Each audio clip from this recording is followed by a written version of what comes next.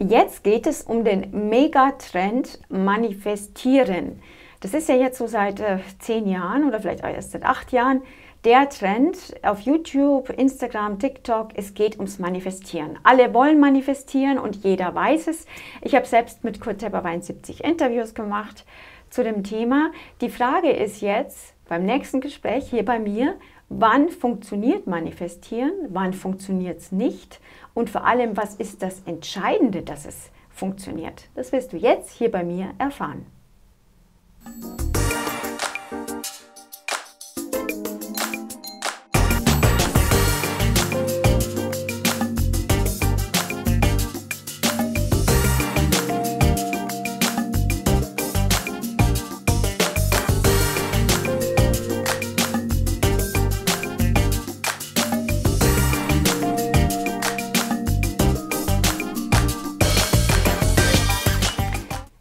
Geht jetzt darum, wann Manifestieren funktioniert und wann es nicht funktioniert und was ist das alles Entscheidende, dass es funktioniert. Das wirst du jetzt hier bei mir im nächsten Gespräch erfahren. Ich bin Bettina Geithner und ich würde mich sehr freuen, wenn du mich abonnierst. Dazu musst du die oberste Glocke auf YouTube drücken, dann wirst du informiert, wenn ein neues bewusstseinserweiterndes Interview von mir hochgeladen wird, würde ich mich sehr freuen. Und jetzt geht's los mit dem Interview mit Katrin Anna Günther. Wunderbar, dass du hier bist bei mir im Studio und dass wir jetzt das Gespräch führen können zu dem echt spannenden Thema. Ja, ich danke, ja. dass ich hier bin. Schön, ja. ich freue mich. Also es ist ja so, du bist ja praktisch ähm, systemische Coach, du bist Heilpraktikerin, du bist aber auch Chemikerin, also diplomierte Chemikerin. Also du hast schon einen sehr breiten Hintergrund, würde ich jetzt mal sagen. Und ähm, du hast dich natürlich mit in deiner 30-jährigen Praxis, in der du Menschen behandelst, mit sehr vielen, sage ich mal, geistig, seelischen, psychischen Themen, aber auch mit körperlichen Krankheiten beschäftigt und natürlich viel Erfahrung gesammelt. Und du hast auch jetzt ein Buch geschrieben, ähm, da geht es eben auch darum, Gas zu geben, ohne auszubrennen. Ich finde, das Wichtige an dem ganzen Thema Manifestieren, in die Fülle kommen, sich Wünsche erfüllen, Lebensziele verwirklichen. Das Wichtige ist doch bei allem, was einem das eigene Herz sagt. Also was die Herzenswünsche sind und nicht die Kopfwünsche. Oder was sagst du? genau. Also die Kopfwünsche erfüllen sich ja nicht. Ja, also wenn es jetzt um Manifestation geht, ja. dann äh, manifestieren wir alles, was wir in unseren Gedanken haben und, und was wir fühlen. Das heißt, das Thema ist ja, dass wir unsere Gedanken kontrollieren sollten mhm. und uns genau überlegen sollten, mhm. was will ich denn in meinem Leben? Ja, da sind wir wieder bei der Vision. Was mhm. habe ich denn für eine Vision von meinem Leben? Und was habe ich für Ziele? Was, wie sind meine Werte? Was ist meine Mission in diesem Leben? Mhm. Ja, so, also mein Warum. Warum mhm. will ich das mhm. machen? So, das muss ich vorher alles ja wissen. Ja, deswegen ist es immer schön, ein Vision Board zu machen. Ja, wenn ich mir was manifestieren möchte. Mhm. Ansonsten manifestieren wir ja unbewusst jeden Tag. Die ganze Zeit. Permanent. Genau. Ja, und das wollen wir dann oft nicht, dieses Leben. Was ich halt erlebe ist, oder was ich selbst erfahren habe, ist, dass manche Sachen funktionieren einfach nicht. Und ich habe bemerkt, dass da ähm, bestimmte Glaubenssätze, die ich habe, die Erfüllung verhindert haben. Das heißt, ich glaube persönlich, die innere Einstellung zu mir selber ist das, was wichtig ist, damit ich überhaupt meine, in die Fülle komme, damit ich überhaupt meine Wünsche erfüllen kann. Würdest du dem so zustimmen, dass das Entscheidende bei dem ganzen Manifestieren, bei der Manifestiererei ist, welche ob ich mich selber akzeptieren kann, ob ich meine Glaubenssätze aufgelöst habe, ob ich gut mit mir selber klarkomme. Ich glaube, das ist doch das Wichtigere bei dem ganzen Prozess des in die Fülle kommens. Ja, das Schwierige ist, guck mal, wir haben ja weit über 300.000 krankmachende oder einschränkende Glaubenssätze in mhm. uns. Also wir mhm. können niemals alle lösen. Genau. Ja? Mhm. So, das heißt, äh, wir brauchen ja nur auf unser Leben schauen, dann wissen wir ja, wie wir denken. Genau. Ja, weil wir das ja direkt manifestieren im also Außen. gespiegelt bekommen. Genau. Und wenn es klassisch ums Manifestieren geht, dann sollte ich mir schon Gedanken machen um meine Gedanken. Das erste ist, ja, glaube niemals deinen Gedanken, ja, weil die uns ja alles Mögliche vorgaukeln. Das mhm. ist ja dieses, mhm. das Hauptthema. Mhm. Und dieses Training mal 14 Tage wirklich die Gedanken zu kontrollieren. es ist ein Training eminent wichtig, aber sehr schwierig am Anfang, weil dann nach den 14 Tagen wird es einfach. Ne? Aber die ersten 14 Tage wirklich immer wieder mal innezuhalten und zu sagen, okay, was habe ich denn gerade gedacht? Das ist entscheidend, bevor es überhaupt ans Manifestieren geht. Weil alles, was wir im Hier und Jetzt, gerade jetzt tun, bestimmt ja unsere Zukunft. Ja, jede Sekunde bestimmt ja unsere Zukunft. Das ist ja Manifestation. Genau. So und ähm, sich jetzt bewusst hinzusetzen und zu sagen, okay, ich möchte das und das und das und das. Das geht ja immer nur ums Haben wollen. Haben wollen ist ja Mangel. Mhm. Ja, es geht ja darum, wer möchte ich sein? Ja. Mhm. Ja, das Sein. Aber um das zu sein, muss ich was tun. Und das Tun ist wiederum, die Gedanken zu kontrollieren, weil alles steht und fällt mit unseren Gedanken. Und wenn wir die Gedanken nicht unter Kontrolle kriegen, dann werden wir immer ein Leben haben, was wir uns vielleicht gar nicht wünschen, weil wir es anders wollen. Ja, aber das mit der Gedankenkontrolle ist nicht so einfach, weil man hat nicht jeden Gedanken in der Hand. Man kann es nicht immer steuern. Also das ist ja das der ist, Punkt. Training. Der Punkt. So wie ja. wir einen Muskel trainieren, wir müssen alles trainieren. Ja. ja, die Wiederholung ist es ja. Die mhm. Wiederholung, die Wiederholung. Und du weißt ja selber, wenn du mal irgendein Buch liest oder mal ein mhm. Hörbuch hörst oder was auch immer oder selbst hier unser Interview nachhört, ja, ja dann hörst du beim zweiten Mal was ganz anderes raus. Beim dritten Mal was ganz anderes raus. Genau. Ne? Weil wir nehmen in der Regel ja nur 5% bewusst mhm. wahr mhm. von dem, was wir hören. Ne? Und, ähm, und so ist das eben, wir hören ja uns selbst nicht immer zu. Also manchmal schon, manchmal nicht. Ne? Mhm. Das heißt, ich muss ja immer wieder innehalten im Moment. Mhm. Was habe ich eigentlich gerade gesagt? Genau. Was habe ich eigentlich gerade gedacht? Und das mal 14 Tage trainieren. Und was könnte die Übung sein, dass man sich einen, einen Timer stellt, der alle paar Minuten äh, klingelt, um mal kurz oder ich glaube, es ist doch eigentlich so, dass es vor allem wichtig ist, wenn ich ein negatives Gefühl habe, nachzugehen, was ich jetzt denke. Weil das ist das Entscheidende, was doch auch der negative Glaubenssatz vielleicht ist. Oder ja, na, die Gefühle, die, das ist wie ein Enterknopf. Ne? Die ja, Gefühle ja. sorgen ja dann letzten ja. Endes dafür, dass es sich dann ja. manifestiert, ne? unter anderem. Also ich habe es so gemacht, ich hatte mir wirklich hier einen Gummi genommen, einfach einen ganz normalen Haargummi. und immer wenn ich gemerkt habe, ups, was hast du denn jetzt gerade gedacht, was ungünstig war, ja. habe ich den geschnipst. Aha. Ja, das heißt, ich habe es verbunden in dem Moment mit einem kleinen Schmerz. Mit, einer kleinen, ja. Weil der Mensch, wir sind fast alle so gepolt, dass wir über Schmerz lernen, kaum über Freude. Okay. Leider Gottes. ja, und das hat mir sehr, sehr gut geholfen, weil ich dadurch Aha. mich erinnert habe. Cool wups, schon wieder, bing, ja. So, und das, das dauert gar nicht lange, dann brauchst du irgendwann den Gummi nicht mehr, ja. Aber das hilft sehr, sehr gut, um sich dessen bewusst zu machen, wie oft, gerade am Anfang, ja, wie rot das dann hier wird, wie oft man eigentlich negativ denkt oder was ausspricht, was eigentlich jetzt nicht angebracht wäre ja, oder war. Und, und das ist wirklich eine sehr, sehr gute Übung. Und so trainiert man sich, oder es ist zumindest eine, eine Übung. Es gibt sicher noch viele, viele andere, aber das war jetzt so meins. Und äh, so trainiert man sich raus aus diesem permanenten negativen Gejammer, negativen Gedanken, ja, diesen ganzen Mangelgedanken. Und aber die Frage ist, ist, reicht es, die ja. bewusst machen oder muss ich den Gedanken auch ersetzen? Erst musst du dir wieder bewusst machen. Das ist immer das Gleiche, die gleiche also, Formel anerkennen, was ist. Erstmal muss dir bewusst werden, wow, was habe ich denn gerade schon wieder gedacht? Weil das, ja. der Witz ist ja, das, was wir denken, denken wir nicht nur einmal.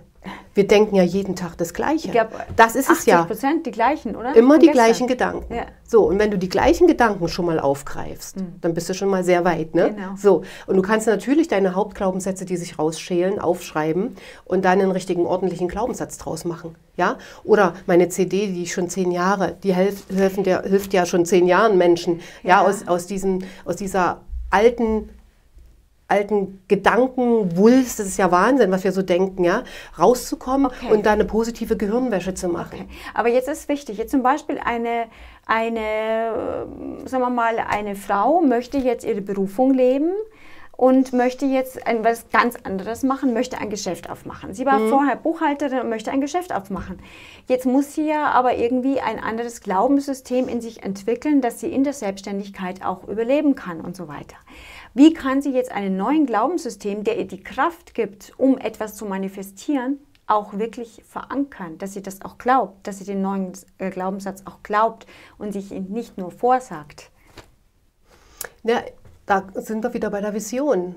es, es, geht daran nichts vorbei. Das mhm. heißt, wenn sie Buchhalterin ist und sagt, okay, ich möchte aber eigentlich ein, ein schönes Geschäft machen, wo ich ja. Sachen verkaufe, weil ich mhm. habe auch eine kreative Seite. Ne? Ähm, dann ist es einfach so, dann muss sie sich dieses Bild, also idealerweise auf dem Vision Board, ja, mit einem tollen Gefühl dazu, mit, mit dem richtigen mhm. Glaubenssatz schon drunter mhm. schreiben, dieses Bild dazu, wie sie sich im Geschäft sieht, mhm. wie sie Menschen berät, ja, wie sie das mhm. macht, was sie erfüllt, mhm. ihre Vision eben, ja, äh, das muss sie quasi idealerweise auf dem Vision Board dort niederkleben oder schreiben, ja. Also das ist das Simpelste eigentlich, dass wir jeden Tag sehen, was wir wollen, ja wer wir sein wollen in dem Fall. Ja? Und dann kommt wieder das Haben und dazwischen liegt das Tun. Ja, immer wieder das Gleiche. Es ist nichts Neues, es ist immer wieder das Gleiche. Es muss nur umgesetzt werden. Also das Einfachste ist, sich ein Vision Board zu erstellen. Das hat man dort hängen, wo man immer dran vorbeikommt. Das guckt man sich jeden Tag an. Meins hängt zum Beispiel im Bad. Ja, da habe ich das hängen und wenn ich auf Toilette sitze, gucke ich automatisch dahin, gucke ich mir jeden Tag an, also zweimal am Tag, auf jeden Fall morgens, auf jeden Fall abends, gucke ich auf mein Vision Board und weiß genau, wo ist meine Richtung. Okay. Wer möchte ich sein? Meine Richtung, meine Vision hängt dort. Und es ist so, und es hängt schon lange da. Ne? Es wird dann ein bisschen verändert oder so, aber prinzipiell. Und ich merke, wie ich Schritt für Schritt, da gehört auch mein Buch dazu, Schritt für Schritt das umsetze. Mhm. Automatisch. Okay. Weil dein Unterbewusstsein zieht dich dahin. Also du kommst dorthin. Es das heißt nicht Zauberei, du musst nichts mehr tun, ganz im Gegenteil. Du musst dafür natürlich was tun, aber du kennst den Weg. Es ist doch wie, wenn ich irgendwo hin möchte, einen Berg hoch, ja, dann ist es doch gut, wenn ich eine Landkarte habe und weiß, wie komme ich dahin. Jetzt muss ich erzählen, das ist lustig, dass es stimmt, dass dieses funktioniert, obwohl ich jetzt kein Vision Board habe, aber ich habe mir ein Kinoplakat von einem Film, den ich sehr gut fand. Der heißt Ein Glücksfall. Ich habe mir dieses, dieses Filmplakat übers Bett gehängt tatsächlich hatte ich jetzt die letzten Tage oder Wochen so viel Glück. Ich habe sogar im Lotto gewonnen. Das ist unmöglich. Also man kann das so sagen, Super. dass es funktioniert, obwohl es gar keine Absicht war. Ja. Nur glückliche Zustände, glückliche ja. äh, Zufälle. Also es funktioniert definitiv. Aber wenn man jetzt also an sich arbeiten möchte und praktisch eine Vision hat oder etwas manifestieren möchte, was Großes, was sind die wichtigsten Schritte? Wie, wie fange ich an? Ganz, ganz einfach, indem ich mir ein Vision Board ja. erstelle. Okay.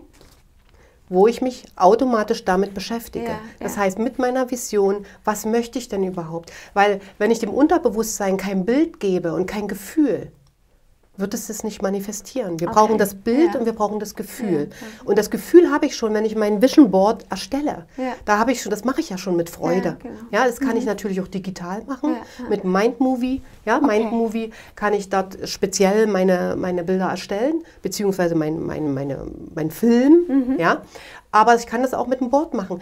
Es bleibt mir nichts anderes übrig.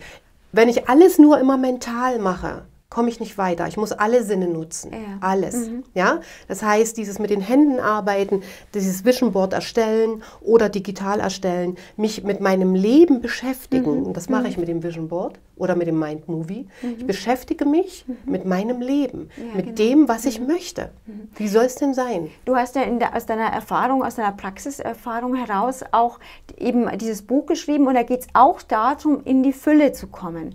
Was gibt es denn jetzt auch für konkrete Übungen zum Beispiel, damit jemand in die Fülle kommt? Aus dem Buch heraus. Was, was wäre denn dann? Beschreib bitte nur die Übung, wir können sie jetzt nicht machen, aber könntest du mal beschreiben, wie man so eine praktische Übung anwenden kann?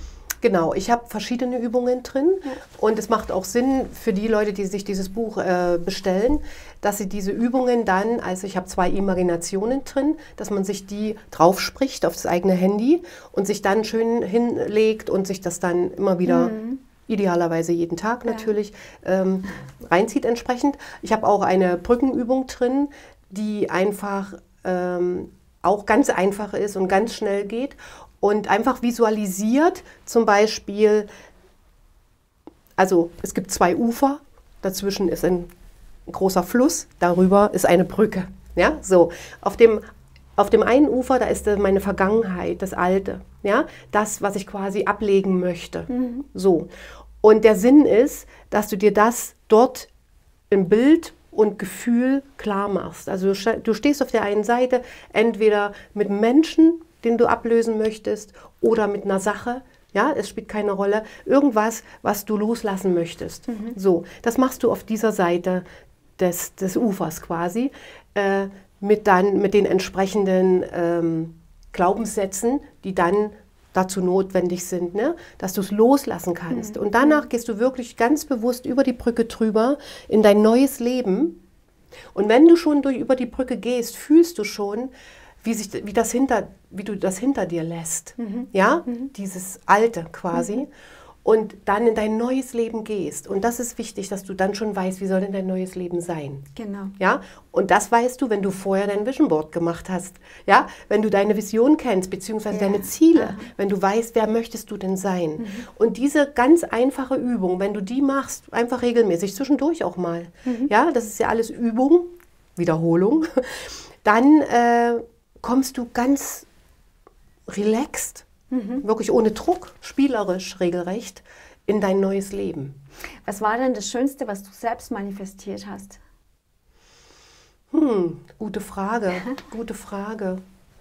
Ich glaube, mein größter Herzenswunsch war immer, mein Buch zu schreiben oder erstmal das erste ja. Buch zu schreiben, mein Baby. Ansonsten, alles, was in meinem Leben passiert ist, habe ich ja bewusst manifestiert.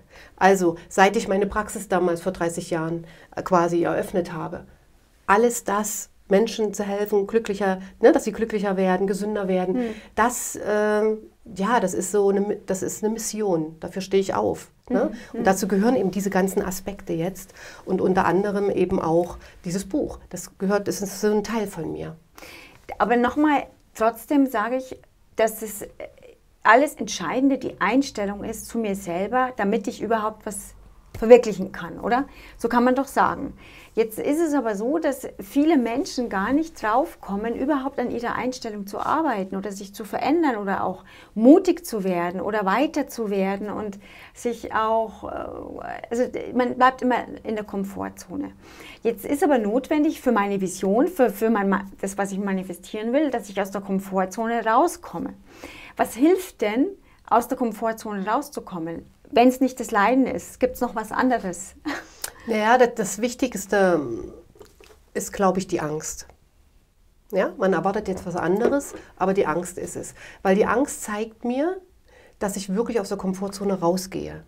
Solange ich innerhalb meiner mhm. Komfortzone bin, mhm. habe ich keine Ängste. Ah, ja, ja? Genau. Mhm. Aber wenn ich jetzt zum Beispiel den nächsten Schritt gehe, sagen wir mal, auf die Bühne gehe, vor vielen Menschen spreche, ja, genau. ja? das ist doch so, da, da wird es doch vielen mulmig. Ja, ja. so. Mhm. Und äh, das ist so der nächste Schritt, ja, aus der Komfortzone rauszugehen. Und dann habe ich zwei Möglichkeiten wieder, wie immer. Das heißt, ich kann entweder in der Komfortzone drin bleiben und sagen, oh nee, traue ich mich nicht, ja? Ich kann aber auch so unzufrieden sein mit meinem Leben und habe so die Nase voll, dass ich so eine Wut langsam habe und diese Wut in Mut umwandle und mit diesem Mut aus dieser Komfortzone rausgehe okay. und die Angst mitnehme und sage, okay, die Angst gehört dazu, das ist völlig in Ordnung. Ja? Und ich mache den Schritt jetzt trotzdem und dann äh, komme ich ja dahin. Und jedes Mal, wenn man die Angst überwunden hat, ist es ein Stückchen es ist ein Erfolg. Es genau. ist ein genau. Erfolg. Man hat Erfolgserlebnisse, genau. wo man eigentlich gar nichts gemacht hat, aber man hat jetzt mal die Angst ein Stückchen überwunden. Das ist vielleicht auch der Weg, weil es gibt auch einem Energie. Es gibt Energie zurück und Kraft, würde ich jetzt mal sagen. Das Selbstwert ein wird Selbstwert. enorm wert gesteigert. Ja. Also darum geht es ja. Immer aus der Kom in die nächste Komfortzone ja. zu gehen, ja, sorgt dafür, dass unser Selbstwertgefühl gestärkt wird. Unser Vertrauen in uns selbst, der Glaube in uns selbst wird dadurch gestärkt, indem wir immer den nächsten Schritt gehen, den nächsten Schritt, den nächsten Schritt. Dann kommen wir sozusagen ganz einfach, stärken wir dadurch unser Selbstwert. Ich will damit nur sagen, es geht nicht darum, immer in der Vergangenheit rumzuwühlen und immer das alles aufzuarbeiten. Das kann man machen, muss man aber nicht. Man kann auch einfach nach vorn gehen. Einfach die nächsten Schritte gehen, die nächsten Schritte, wenn man sie kennt. Das heißt, wenn man sich schon mal ein Vision Board oder eine Vision überlegt hat und auch Ziele überlegt hat und seine Werte. Das Problem bei diesem, äh, bei diesem äh, sagen wir mal, Ziele verfolgen ist ja, dass da Hindernisse kommen, die man nicht eingeplant hat. Es kann auch sein, dass es sehr, sehr anstrengend ist und dass ich dann auch unter Stress bin. Angenommen, ich mache eine neue Firma auf und ich werde drei Jahre Verlust haben. Es kann auch sein, dass ich, also nur als Beispiel, ja, und ich habe keine schwarzen Zahlen und muss erstmal schauen, wie ich mit dem Geld hinkomme, wie ich meine Mitarbeiter zahle. Also ich habe dann auch Stress die drei Jahre. Jetzt ist die Frage, hier das Buch, Vollgas geben, ohne auszubrennen. Wie kann ich trotz schwieriger Phasen im Leben, die vielleicht leider notwendig sind, wenn ich eine eigene Firma aufbaue, trotzdem in Balance bleiben? Ja, generell geht es um Selbstvertrauen. Ja? Also wenn ich was Neues, wenn ich eine neue Firma eröffne zum Beispiel, ja, dann bin ich mir dessen bewusst, dass ich auch erstmal durch bestimmte Durststrecken durch muss. Das ist völlig mhm. klar. Im Schnitt zwei Jahre, das ist ganz normal. Das Wichtige bei allem, was ich tue in meinem Leben, ist durchzuhalten, niemals aufzugeben. Das ist wirklich das aller, aller, aller Wichtigste. Und das unterscheidet die erfolgreichen Menschen von misserfolgreichen. Ich nenne sie auch erfolgreich, aber sie sind leider misserfolgreich. Das heißt, ähm, diese Durststrecken zu überstehen, in dem, in dem Glauben und in dem Wissen, in dem Urvertrauen, ja, dass sie dazugehören und dass ich getragen werde. Und zwar durch mein höheres Selbst, durch mein, durch mein eigenes Selbst, weil ich ja weiß, dass ich den richtigen Weg gehe. Der wird immer unterstützt. Das heißt, wir müssen dann ein bisschen aus diesem kleinen, kleinen raus in das größere Universum gehen. Ja? Das heißt, wir werden auf unserem Weg getragen, wenn wir es zulassen.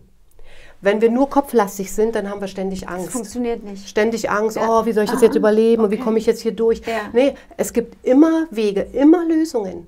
Und deswegen ist es ganz wichtig, lösungsorientiert zu denken. Das muss man sich wirklich angewöhnen. Aber was bedeutet es, lösungsorientiert zu denken? Nicht im Problem zu bleiben. Also, ich habe das Problem. Aber wenn ich die Lösung jetzt nicht weiß. Ja, aber solange ich in dem Problem bleibe und immer nur jammere und allen von meinen Problemen erzähle, dann wird es immer größer. Dann ganz genau bleibe ich in aber, dem Problem. Und wenn ich die Lösung noch nicht habe? Wenn ich die Lösung noch nicht habe, dann schreibe ich mir entweder das auf einen Zettel oder sage es mir in der Meditation oder jeden Tag denke einfach mal darüber nach und sage, wie sieht die Lösung aus? Ich brauche eine Lösung für das Problem oder jetzt. denke was ganz anderes. Kommt vielleicht nebenbei. Kommt sowieso. Es kommt entweder durch einen Menschen, durch einen Satz, durch eine Idee, durch irgendwas. Es kommt, indem ich mir die Frage stelle. Mhm. Es geht um Fragen, mhm. immer um Fragen, mhm. nicht um Sagen. die, indem ich mir die Frage stelle, wie sieht die Lösung hier aus jetzt? Wie sieht jetzt hier die Lösung aus? Das heißt nicht, dass die sofort kommt oder dass mir jemand sagt, ja, so sieht's aus, sondern dass dann erstmal Ruhe ist. Ja, die Lösung kommt zu 110 Prozent. Aber dieses Vertrauen zu haben, dass die Lösung kommt. Und die Lösung auch zu sehen, das ist die Kunst. Das ist die große Kunst, das Vertrauen freizusetzen, das wir ja als Kind noch haben. Aber dann in so einer schwierigeren Situation das Vertrauen zu haben, ich mache jetzt einfach weiter. Auch wenn ich noch nicht weiß, wie es wird, wie ich es schaffen soll, aber ich mache jetzt einfach weiter. Und dieses Vertrauen freizusetzen, es ist ja wie eine innere Haltung eigentlich. Was hilft denn auch zu vertrauen ins Leben?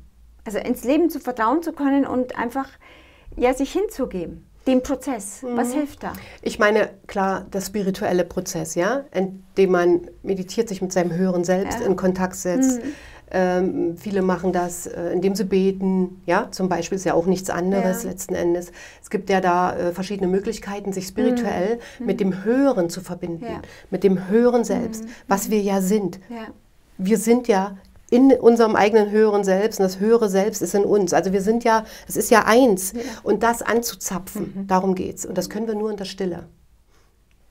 Die Stille ist dazu da, nicht mehr nach außen zu gucken, sondern nach innen, mich nach innen zu wenden. Mhm. Und in der Stille zapfe ich das höhere Selbst, mein höheres Wissen an. Weil das höhere Selbst hat alle Informationen und da ist ja auch die Lösung. Ich kann aber nicht, wenn ich im Ego bleibe, im Außen und mich nur in meinem, wie so ein Kreisel, in meinem mhm. Problem drehe und jammere und immer nur, ja, ja mhm. dann kann ich natürlich niemals mhm. gleichzeitig ins Innen kommen, ja, und die Lösung, die da ist, anzapfen. Das heißt, es ist ganz eminent wichtig, wenn ich Probleme habe, wenn ich etwas Neues aufbaue oder wenn ich weiterkommen möchte, dass ich regelmäßig jeden Tag mich nach innen wende. Ja, viele sagen, oh, ich kann nicht meditieren, das, das, ja, oder haben mit dem Wort Meditation schon ein Problem, weil sie denken, es ist esoterisch oder so. Darum geht es überhaupt gar nicht. Es geht nur darum, nach innen zu gehen. Du kannst auch nur denken. Ja, einfach denken. positive Gedanken, indem du dir positive Fragen stellst. Einfach die Augen zumachen und nur dein, über dein Problem, mhm. in dem Fall über die Lösung, genau. nachdenken, indem Aha. du dir sagst, wie sieht die Lösung aus? Und dann mal die Gedanken ausschalten, die da kommen. Oder auch die Frage positiv formuliert, wie könnte es klappen? Egal wie. Ne? was eben zu dir passt. Ja, ja? Genau. Und das kann man sich auch aufschreiben, mhm. weil das Schöne ist, wenn du es aufschreibst, manifestierst, manifestierst du es ja stärker und dann wirklich den Zettel auch mal liegen lassen und mal weggehen vom Problem und von ja, der Lösung. Ja, das meinte ich, genau. Ja? Mal eine Pause, mhm. weil in den Pausen realisiert sich's. Geschieht genau. viel. Ne? Und dann kann es sein, dass dir Menschen ins Leben geschickt ja. werden oder dass du wirklich irgendwas liest, irgendwas. Ja. Ne? Und mhm. auf einmal wirst du inspiriert und kriegst ja. die Lösung. Ja, das ist sehr, sehr vielfältig. Also das Leben ist genial. Und wie bekommt man mehr Energie, um dann seine Vision auch umzusetzen? Ja, na, indem man erstmal auf seinen Körper achtet, einerseits, ne? ja. ne? also sich gesund erhält. Ein mhm. gesunder Darm ist ja. ganz, ganz wichtig, mhm. dass man auch einen gesunden Geist hat. Ja. Und ähm, im Darm selbst, wie gesagt, werden ja so viele Neurotransmitter hergestellt, das mhm. Glückshormon. Mhm. Ja? Wir, wir, wollen ja glücklich sein. Das Serotonin mhm. brauchen wir. Ne? Und das wird ja zu 95 Prozent im Darm hergestellt. Das Dopamin brauchen wir. Wir brauchen eben ganz viele Aminosäuren. Wir brauchen Vitamine, Mineralien wir müssen Magnesium, ja, also wir brauchen diese ganzen Sachen. Wir müssen unserem Körper über 50 Vitalstoffe pro Tag geben, ja, der Zelle, dass sie funktioniert. Das ist die Grundlage, dass wir Energie haben, es dann Sport treiben und uns mental fit halten. Ich, ich empfinde es auch so. Ich glaube wirklich, äh, das Essen das Essen, ja, ohne Essen leben wir nicht und ohne Trinken. Das ist die Basis, weil sonst kann ich nichts manifestieren. Wenn der Körper nicht in Ordnung ist, dann habe ich keine Kraft, irgendwas zu manifestieren. Deswegen ist auch wichtig, dass ich einfach, dass es mir körperlich gut geht und dass ich mit meinem Körper gut haushalte. Sprich jetzt Entspannung, Schlafen, Sport, Essen ist sehr wichtig. Aber weil, weil du ja auch Heilpraktikerin bist, die sich sehr gut mit dem Darm auskennt, könntest du noch mal ganz kurz erklären, was ist denn wichtig, um seinen Darm gesund zu erhalten? Also wichtig ist, dass man, also abgesehen von der Ernährung, ich gehe immer so ran, dass ich sage, also optimal ist eigentlich eine Ernährung, die blutgruppengerecht ist. Ja? Weil unsere Genetik unsere Blutgruppe ist, mhm. wie sie ist, ja, von mhm. Anfang unseres Lebens bis wir sterben, ja. Und die Blutgruppen sind nun mal unterschiedlich entstanden, ja. Mhm. Blutgruppe A ist hier die häufigste, die ist nun mal erst 10.000 Jahre alt. Blutgruppe 0 hingegen ist schon sehr, sehr alt, ja. Mhm. Also, dass man auch da mal schaut, dass man zum Beispiel bei der Blutgruppe A eben nicht so viel Fleisch isst. Das ist ja die vegetarische Blutgruppe, sondern höchstens Hühnchen oder Fisch, wenn man tierische Produkte isst, ja. Und, äh, und bei Blutgruppe 0 zum Beispiel oder B oder AB, die brauchen jetzt viel hochwertige Proteine. Ja, die brauchen, können zum Beispiel auch Fleisch essen. Natürlich immer biologisch. Mhm. Ja, das ist klar. Also wenn wir mhm. jetzt die Ethik ist ja. selbstverständlich jetzt mal die Grundlage. Mhm. Ne? So, und äh, dass man einfach da mal ein bisschen schaut, wie sollte ich mich überhaupt ernähren? Und dass man inspirativ oder intuitiv isst. Mhm. Worauf habe ich jetzt Appetit? Ah ja. Ja, wenn ich Vegetarier bin zum Beispiel, aber spüre, ich habe total Appetit auf Fleisch, dann kann ich mich entscheiden, möchte ich mal Fleisch essen oder bin ich radikaler drauf und sage, nee, generell gar kein Fleisch. Mhm. So, dann brauche ich aber trotzdem Proteine. Ja. Entweder ich esse dann eben ganz, ganz viel Gemüse, mhm. ja, oder Hülsenfrüchte, die haben mhm. aber auch einen hohen Stärkeanteil, ja, äh, oder nehme Proteinshake zu mir, einen hochwertigen, ja, oder sage, okay, in dem Fall esse ich einfach mal Fisch oder ich esse einfach mal ein Stück Fleisch, was okay. biologisch ist. Mhm. Das heißt, einfach fühlen, fühlen, worauf habe ich Appetit. Mhm. Und die meisten, die im Stress sind, die möchten ja erstmal ganz schnell Kohlenhydrate schnell befriedigen. Mhm. Ja, weil der Körper natürlich, das ist auch äh, eine Gefahr natürlich bei Leuten, kann ich gleich in dem Zusammenhang sagen. Leute, die ganz stark gestresst sind, die, da gibt es ja Menschen, die sagen, okay, ich bin chronisch krank, ich habe Schmerzen. Die, dafür die ist es ja sinnvoll, sich ketonisch zu ernähren. Also mhm. Also wirklich ohne ja. Kohlenhydrate, also Aha. Beeren und so schon, aber keine mhm. einfachen Kohlenhydrate, keine äh, Mehle und so weiter. Das Problem ist nur bei denen, die brauchen Kohlenhydrate. Hm. Weil wir brauchen Kohlenhydrate, um uns glücklich zu fühlen, ja. weil Kohlenhydrate wiederum das Serotonin aktivieren. Ah, okay. So, aber die Frage ist eben, esse ich jetzt normalen Zucker okay. oder nehme ich ein komplexes Kohlenhydrat? Ja, also zum Beispiel, äh, wenn ich Blutgruppe A habe, Buchweizen, ja, mache ja. ich mir einen schönen Eierkuchen mhm. mit Buchweizen zum ja. Beispiel, Buchweizenmehl. Das ist auch eine tolle Sache, kann ich machen. Ja, schmeckt gut, aber ich muss nicht auf Kohlenhydrate Also, verzichten. Die Blutgruppendiät ist hilfreich für einen gesunden Darm. Habe ich das richtig Es verstanden? ist keine Diät. Ach so, oder Das ist ganz wichtig. Ernährung. Es ist eine Ernährung, die, wo wir einfach ein bisschen beachten, welche Blutgruppe habe Okay. ich und sollte ich mich eher mit eher proteinreich Ja. ernähren oder sollte ich eher auch Kohlenhydrate fokussieren, wie die Blutgruppe A. Natürlich, die kann viel besser Kohlenhydrate verstoffwechseln, verstehe. aber eben, ich sag mal, die normalen Kohlenhydrate, das normale Mehl, das, die, der normale Zucker, der oder so, das ist für niemanden gut, weil der zu Entzündungen führt. okay. Ja, aber es gibt eben sehr gute Alternativen für Kohlenhydrate. Und das ist eben eine Grundlage für den Darm. Und unser Mikrobiom, was wir im Darm haben, das ist ja, das sind ja Milliarden von Bakterien. Da haben wir gute, da haben wir schlechte. Ich, ja, ich will es gar nicht Ja. bewerten, aber das ist wie im richtigen Leben hier drin. Ja, und je nachdem habe ich viele pathogene Keime hier drin, ja, Fäulniserreger, dann bin ich auch immer mies drauf. Ja, ja genau. weil ist doch logisch, die die drängen uns ihr Bewusstsein auf, weil alles hat Bewusstsein. Ja. Das ist auch ein Aspekt, der sehr interessant ist, wo die wenigsten dran denken, dass die Lebewesen, die hier drin sind, ja auch ein Bewusstsein haben. Und die drängeln uns ihr Bewusstsein auf. Und wir wundern uns manchmal, warum bin ich depressiv? Warum habe ich depressive Verstimmungen? Das hat ganz viel hier Ja, zu tun, warum habe ich so einen Morgenblues? Ja? Oder warum bin ich auf einmal so schlecht gelaunt? Ich kann gar nicht glücklich sein Ja. innerlich. Und dann denken wir immer, ja, na klar, meine Vergangenheit, das war ja alles so schwierig und mit meinen Eltern und so. Ja, es mag alles sein, Ja. aber es ist nicht immer die Vergangenheit. Es ist manchmal der Darm. Es ist so. Und ich habe sehr häufig schon genau. eben gesehen, wenn wir die Darm, den Darm entgiften, ja, wir Ja. machen so eine 16 Tage Entgiftungskur, dass dann auf einmal die Psyche auch besser ist. viel, viel besser Klar, ist. wenn es einem körperlich gut Kannst geht, Entscheidungen kann man treffen. besser manifestieren, Ganz genau. zweifelsohne. Ne? Jetzt, liebe Katrin, ich habe jetzt noch eine letzte Frage. Schau mal jetzt zu dir umfassend. Du hast eine 30 Jahre eine Praxis Mhm. und du hast den Selbstliebe-Integrationsprozess entwickelt, damit Menschen in die Selbstliebe kommen und auch ihr Leben verwandeln können. Du bist spezialisiert auf natürlich auch körperliche Krankheiten. Unter anderem haben wir jetzt schon Chronische gesprochen, Krankheiten. chronische Krankheiten der Darm, systemischer Coach. Und du hast ähm, auch, du bietest eine Ausbildung an, man kann bei dir auch Seminare, Kurse machen, sich weiterentwickeln, du gibst dein Wissen weiter und hast jetzt auch noch dieses Buch geschrieben, eben, ich halte es nochmal in die Kamera für die Zuschauer, Gas geben ohne auszubrennen. Also es ist praktisch das ähm, Buch äh, gegen Stress und fürs Umsetzen von Lebenszielen, sage ich jetzt. Was ist deine Vision? Wieso machst du diese, diese ganze umfassende, tiefgehende Arbeit? Wieso machst du das eigentlich?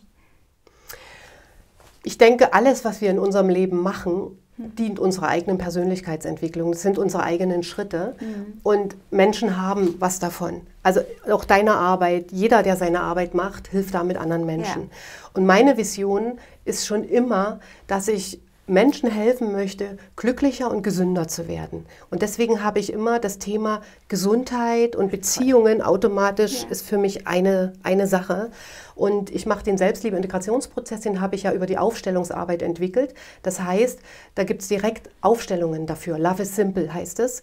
Und dort gehen wir Schritt für Schritt wirklich von der Empfängnis angefangen über das innere Kind, über das, über das pubertäre Jugendliche, über die Erwachsenen in ihren verschiedenen Stadien und lösen dort die Stressthemen auf. Ähm, dass dann es viel, viel leichter ist für die Menschen, wirklich in ihren Selbstwert zu kommen, ja, sich selbst wertzuschätzen, Sachen umzusetzen. Denn jemand, der Um zu manifestieren der, und so in die ja, Fülle zu kommen. überhaupt, weil jemand, der nicht, äh, der sich selbst nicht erkennt, der nicht in seiner Selbstliebe ist, der wird nichts umsetzen, weder aus dem Buch noch sonst irgendwo. Ja, der wird immer nur aufnehmen, hören, ja, aber bei mir klappt es ja nicht. Bei mir ist es ja anders. Ja, genau, So, ne? Bei mir ist das Leben viel zu stressig. Man die hat ja gut reden. Ja, so, nee, wir haben alle, wir haben alle Ja. ein, ein, ein volles Leben. Ja. Ja, weil das Leben entwickelt sich immer schneller, immer schneller, immer schneller. Ne? Das ist klar. Wir haben, es ist nicht mehr wie vor 40 Jahren. Genau. Ne? So, und wir müssen jetzt mitkommen, halten. Und du merkst schon, ich sage viel muss und müssen. Ja, das ist immer wie so ein Druck. Ja, das ist sowieso jemand, der, der äh, Stress hat, der fühlt sich unter Druck. Immer dieses Muss, immer dieses Muss. Und es gibt ja zwei Muss. Es gibt dieses Muss, was ich tun muss für mich. Es kann eine Sogwirkung haben. Ja, also dieses, dieses Sein meine Vision, mhm. ja, und dieses Tun dazu. Das ja. ist ein Muss, ein positives ja. Muss, genau. ja. Und es gibt ein Stressmuss, was mir so hier oben das auf den negativ. Schultern hängt, was negativ, negativ besetzt ja. ist, ne? Ah. So. Und es ist eben ganz wichtig, dass wenn ich mich entwickeln möchte in meinem Leben, wenn ich raus möchte aus meinem alten Leben, ja, dann muss ich das Positive muss, muss ich mich in meiner Persönlichkeit entwickeln, ja. sonst komme ich aus dem alten Leben nicht raus ja, in ein genau. neues. Ja, und dafür brauche ich eine Vision wo will ich denn hin? Mhm. Und dabei hilft dieses Buch.